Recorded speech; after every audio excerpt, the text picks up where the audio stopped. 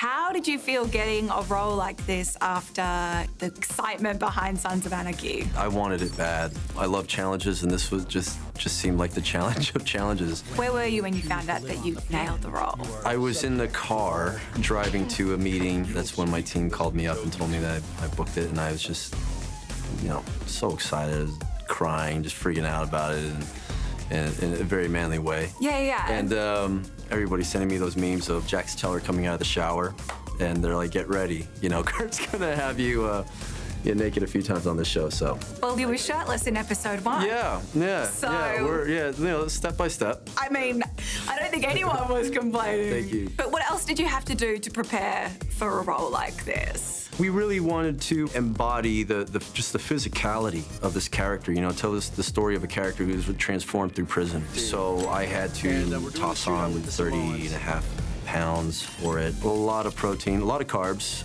It's the same universe, but it is a very different story. The Mayans MC, they're, they're struggling. They're a group that's really struggling for survival.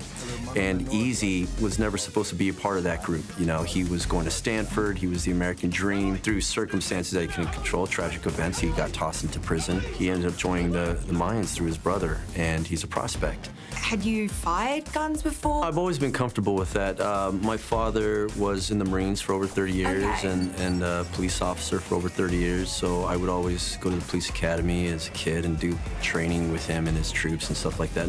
I'm pretty comfortable. So you're an old hat at this. Yeah, yeah, that, that part. In fact, they told me that they didn't want me to be too comfortable with it, that as the character, I had to look a little bit more like I wasn't sure, so. The big opening shot is you riding this massive motorcycle. Had you ridden motorcycles much before? No, no, I didn't. And I had to go do their like their weekend classes and get my permits. You know, it was funny story about that day. So we're riding along the border and and the sand is really just thick and kind of fluffy and it's not good. The director and the stunt coordinator come up to me and they said, you know, we had your stunt guy ride it and he thinks it's a little unsafe because he's slipping all over the place and we're preparing the bike to put like some training wheels on the side of it.